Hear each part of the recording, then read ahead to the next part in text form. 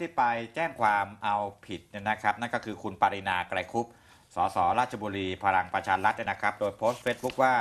ช่วงกลางดึกที่ผ่านมานะเออเพนกวินนะเขาก็โจมตีเพนกวินนะนะ ไม่ต้องอ่านเขาบอกว่าก็โพสต์ภาพตัวเองเนี่ยไปแจ้งความที่สถานีตำรวจภูธรที่ราชบุรีนะครับเอาเอาโพสต์ที่เพนกวินโพสต์ทั้ง 4 โพสต์เนี่ยนะครับเกี่ยวกับการโจมตีศาลรัฐธรรมนูญและโจมตีนายกรัฐมนตรีเนี่ยนะครับ ไปแจ้งความผิดฐานหมิ่นประมาทหมิ่นศาลและดูหมิ่นเจ้าพนักงาน แล้วก็พรบคอมด้วยนะครับค่ะแล้วก็ติดแฮชแท็กให้มันจบที่คุกถ้าพูดถึง